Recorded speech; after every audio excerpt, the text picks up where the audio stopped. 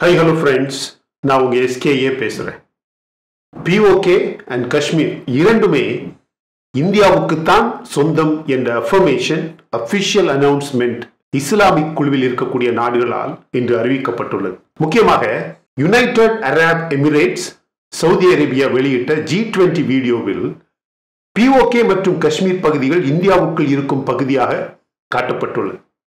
இதை பற்றி தெளிவாக இந்த வீடியோவில் இன்னைக்கு விளக்கமாக பார்க்க போறோம்.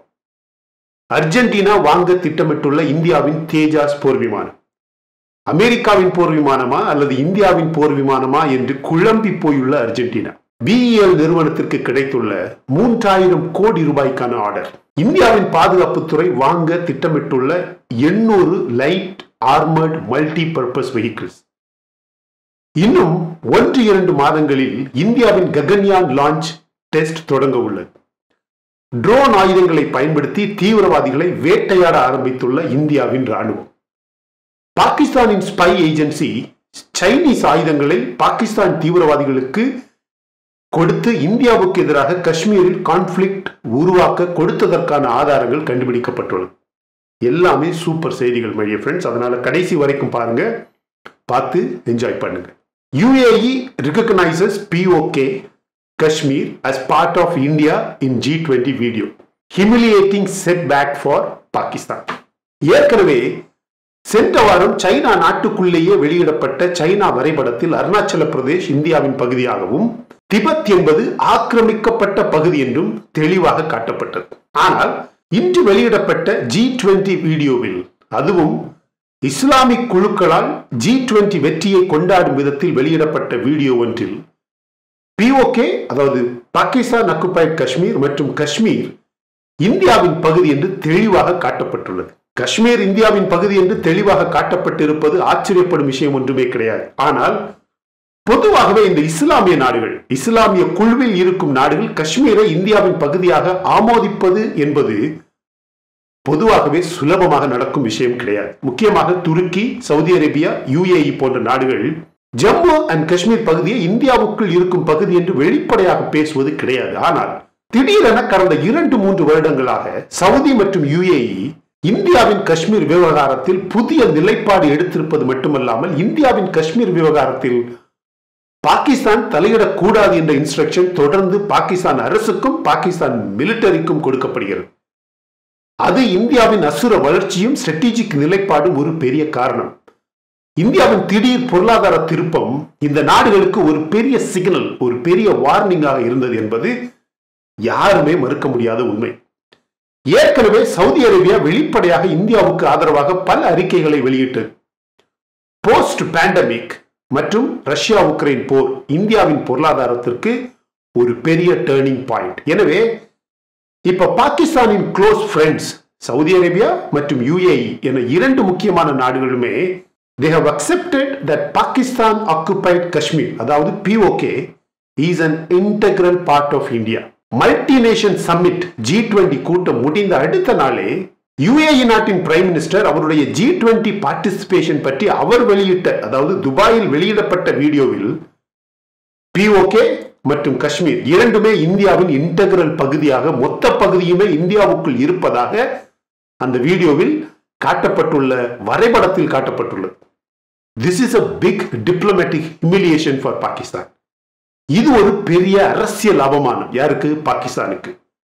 பாகிஸ்தான் எப்படித்தான் முயற்சி செய்தாலும் பாகிஸ்தானுக்கு இஸ்லாமிய நாடுகளின் உறவு என்பது ரொம்ப முக்கியமான ஒரு விஷயம். முக்கியமாக பாகிஸ்தானுக்கு தேவையான இலவச எரிபொருள் உணவு தேவைப்படும் கடன் எல்லாத்துக்குமே அரபு நாடுகள் பாகிஸ்தானுக்கு ரொம்ப முக்கியம். எனவே பாகிஸ்தான் மற்ற அரபு நாடுகளை பகைத்துக் கொள்ள முடியவே முடியாது. இஸ்ரேல் சவுதி உடன்படிக்கை ஏற்கனவே இஸ்லாமிக் நாடுகளுக்கு இடையிலான டைனாமிக்ஸை மொத்தமாக மாற்றிவிட்டது. இந்தியா இஸ்ரேல் உறவு பற்றி உங்க எல்லாருக்குமே தெரியும். எனவே இந்தியா மீதான இஸ்லாமிக் நாடுகளின் அப்ரோச் அண்ட் ஆட்டிடியூட் மொத்தமாக மாறிவிட்டது.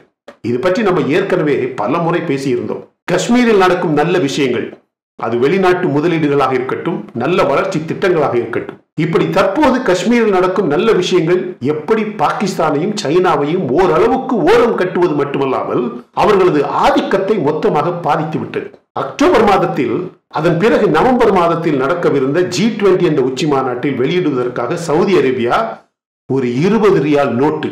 ஆற்றால் ஒரு இருபது ரியால் நோட்டு. என்ன ஒரு பெரிய கன்ஃபியூஷனை கிரியேட் பண்ணிச்சு உங்களுக்கு ஞாபகம் இருக்கா? ஒரு காலத்தில் நல்ல உறவுடன் இருந்த சவுதியும் பாகிஸ்தானும் ஒரு இருபது ரியால் நோட்டால பரம எதிரி மாதிரி பார்க்குற அளவுக்கு அந்த சூழ்நிலை இருந்தது. இனிமேல் சவுதி அரேபியா பாகிஸ்தானின் நட்பு நாடு கிடையாது. அது பாகிஸ்தானின் எதிரி என்ற அளவுக்கு அந்த சிக்கல் பெரிய சிக்கலாக மாறியது. சோ என்னதான் பிரச்சனை? அந்த நேரத்தில் சவுதி வெளியிட்ட ஒரு கரன்சி நோட்டுக்கு பின்புறம் காட்டப்பட்ட உலக வரைபடத்தில் கில்கிட் பால்டிஸ்தான் மற்றும் காஷ்மீர் ஆகிய இடங்களை பாகிஸ்தானின் பகுதிகளாக காட்டவில்லை என்பது குறிப்பிடத்தக்க விஷயமாக இருந்தது. கடந்த எழுபது ஆண்டுகளில் இந்தியாவுக்கும் பாகிஸ்தானுக்கும் இடையே காஷ்மீர் பகுதி சர்ச்சைக்குரிய பகுதியாக இருந்தது. நமக்கு தெரியும் அது நம்மளுடைய பகுதி என்பது. ஆனால் ஒரு சில உலக நாடுகள் மற்றும் முக்கியமாக இந்த இஸ்லாமிய நாடுகள் இந்தியாவுக்கும் பாகிஸ்தானுக்கும் இருந்த காஷ்மீர் பகுதி ஒரு சர்ச்சைக்குரிய பகுதியாக அவர்களால் காட்டப்பட்டது. அதன் ஒரு பகுதி பாகிஸ்தானிலும் மற்றொரு பகுதி இந்தியாவுடன் சர்ச்சையிலும் உள்ளது. அது மட்டுமல்ல இரண்டு நாடுகளுமே இரண்டாயிரத்தி பத்தொன்பதாம் ஆண்டு ஆகஸ்ட் ஐந்தாம் தேதி முதல் அதாவது ஆர்டிகிள் த்ரீ செவன்டி பிரிவை நீக்கிய போது காஷ்மீருக்கு இந்தியா ஒரு சிறப்பு அந்தஸ்தை கொடுத்தது. இது சைனாவையும் தூண்டிவிட்டது. இந்த முடிவை எதிர்த்து சைனாவும் பாகிஸ்தானும் கடந்த ஒரு வருடத்தில் மூன்று முறை காஷ்மீர் பிரச்சனையை ஐக்கிய ஐநா சபை வரைக்கும் இழுத்து சென்றார்கள். வேற வழியே இல்லை. அவர்களுக்கு அப்படிங்கிற மாதிரி உலக மக்கள் எல்லாருக்குமே தெரிஞ்சது. நிறைய பேரும் இந்த கரன்சி நோட்டு பிரச்சனையை இந்தியாவுக்கு எதிராக பார்த்தார்கள் அப்படிங்கிறது உங்களுக்கு தெரியும் ஆனால் அது உண்மை கிடையாது. இது பாகிஸ்தானுக்கு எதிராக செய்யப்பட்டது. அந்த கரன்சி சிக்கல் வந்து பாகிஸ்தானுக்கு எதிராக சவுதி அரேபியாவால் செய்யப்பட்டது. சைனா லடாக் மற்றும் அருணாச்சல பிரதேசத்திலும் இந்தியாவிற்குள் இமாச்சல பிரதேசத்திலும் குழப்பங்களை உருவாக்குகிறது என்பது குறிப்பிடத்தக்க விஷயம். அது மட்டுமல்ல அமெரிக்காவால் தூண்டப்பட்டு சவுதி பாகிஸ்தானிடம் கூறிய அறிவுரைகளையும் தாண்டி துருக்கி ஈரான் மலேசியா சைனா போன்ற நாடுகளுடன் ஒரு புதிய கூட்டணியை உருவாக்க பாகிஸ்தான் முயற்சி செய்தது. அமெரிக்காவின் கட்டளைகளை தவிர்த்து வேறு வழிகளை தேடி தான் தோன்றித்தனமாக நடக்க முயற்சித்தது பாகிஸ்தான். எனவே அமெரிக்காவின் உந்துதலால் சவுதி பாகிஸ்தானுக்கு எதிராக செய்த விஷயம்தான் அந்த கரன்சி நோட் மேப் பாகிஸ்தானுக்கு சப்போர்ட் செய்வதாக இருந்தால் அவர்கள் இந்த பகுதிகளை பாகிஸ்தானோடு இணைத்து காட்டியிருந்திருக்க வேண்டும்.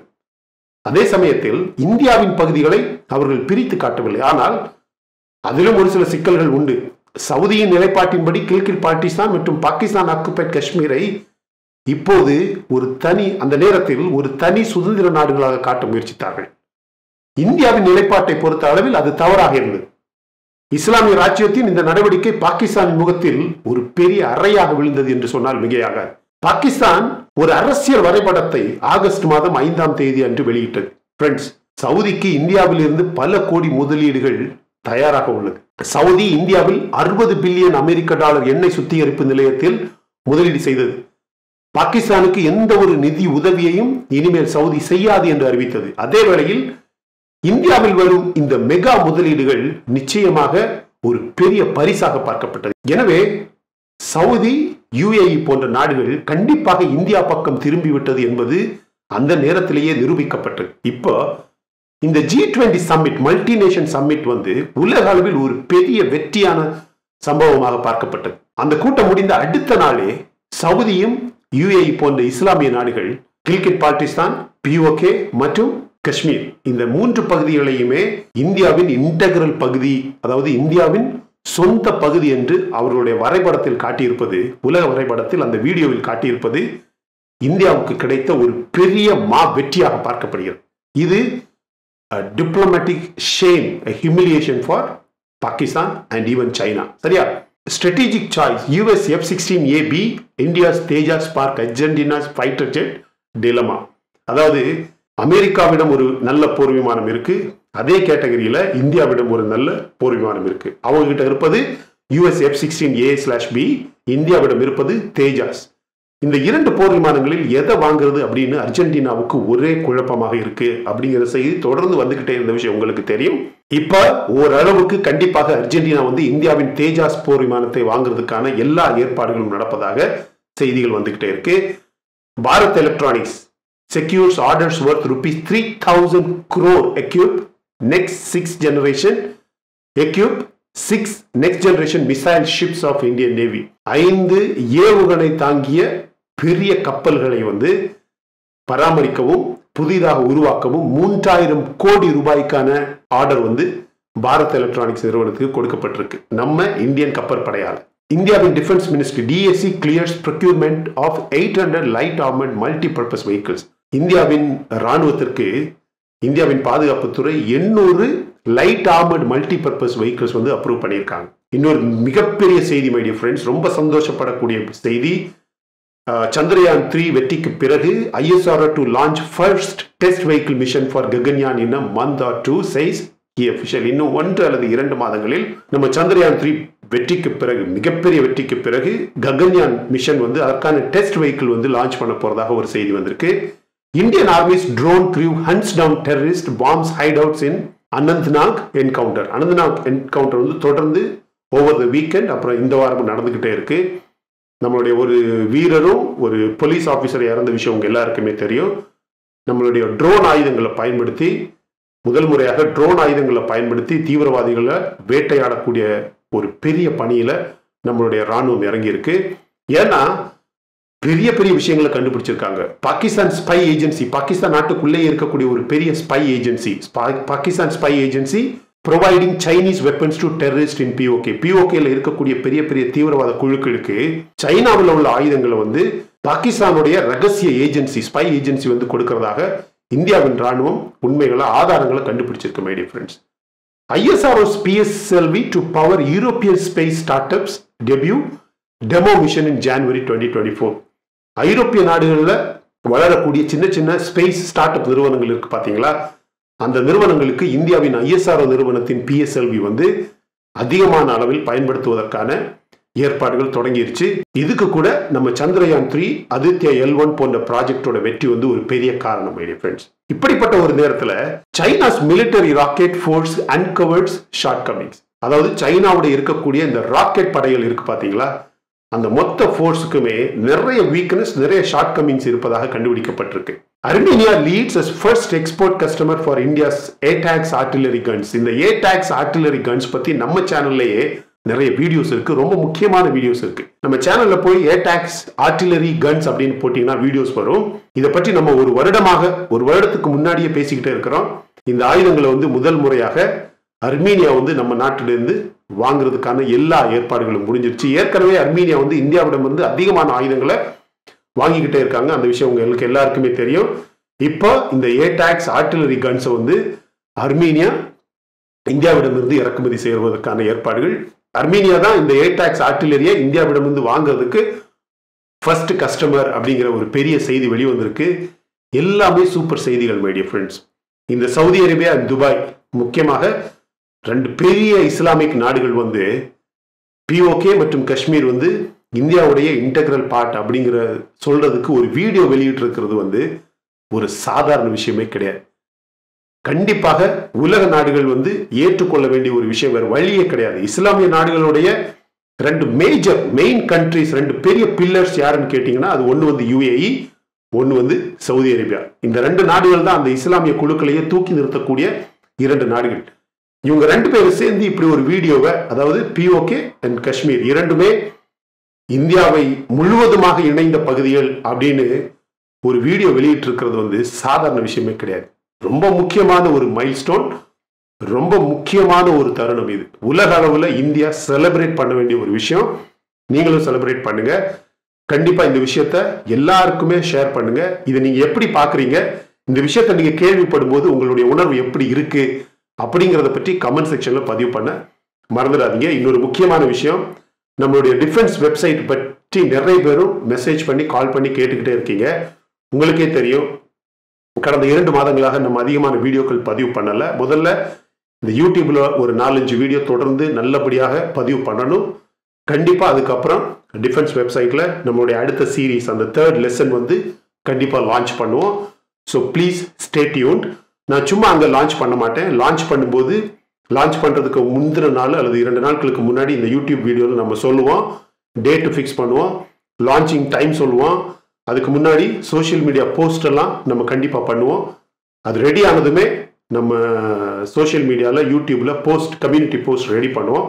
கண்டிப்பாக உங்கள் எல்லாருக்குமே வெல் இன் அட்வான்ஸ் எப்போ லான்ச் பண்ணுறோன்னு தெரியும். அது மட்டும் இல்லை நம்ம வாட்ஸ்அப் குரூப் எல்லாத்துலேயுமே ட்விட்டர் எல்லாத்துலேயுமே கண்டிப்பாக நம்ம அந்த வீடியோ பற்றிய டீட்டெயில்ஸு ஷேர் பண்ணுவோம். ரொம்ப சீக்கிரமாக நம்ம இன்ஸ்டாகிராமில் கூட ரொம்ப ஆக்டிவாக இருக்க போகிறோம் அதனால் இதுதான் நம்மளுடைய இன்ஸ்டாகிராம் ஐடி அங்கேயும் பாருங்கள் ஃபாலோ பண்ணுங்கள் கண்டிப்பாக உங்களுக்கு தேவையான எல்லா செய்திகளுமே அங்கே கிடைக்கும் ஃப்ரெண்ட்ஸ் சரியா? இந்த வீடியோ ரொம்ப முக்கியமான ஒரு வீடியோ பிஓகே அண்ட் காஷ்மீர் பற்றிய ரொம்ப முக்கியமான ஒரு செய்தி. இதை நீங்கள் எல்லாருக்குமே ஷேர் பண்ணணும் டிஸ்ட்ரிபியூட் பண்ணணும் சரியா? இந்த வீடியோ உங்களுக்கு பிடிச்சிருந்தா லைக் பண்ணுங்கள் இன்னும் நம்ம சேனலை சப்ஸ்கிரைப் பண்ணலைன்னா மற்ற வீடியோஸ் பாருங்கள் உங்களுக்கு கண்டிப்பாக பிடிக்கும். பிடிச்சிருந்தா சப்ஸ்கிரைப் பண்ணால் போதும் my dear friends Thank you so much, my dear friends, for watching all my videos and supporting my channel. Until I come back with my next awesome video, it's bye bye from Suresh. Stay safe, stay positive, stay active, and stay fit, and always dream big in your life. நம்மளால் எப்பவுமே எதையுமே எங்கேயுமே சாதிக்க முடியும் அப்படின்னு நம்ம first நம்பணும் my dear friends and as I always say please take care of your parents at home உங்கள் அப்பா அம்மாவை உங்கள் வீட்டிலே வச்சு நல்ல சந்தோஷமாக பார்த்துக்குங்க ஃப்ரெண்ட்ஸ் தேங்க்யூ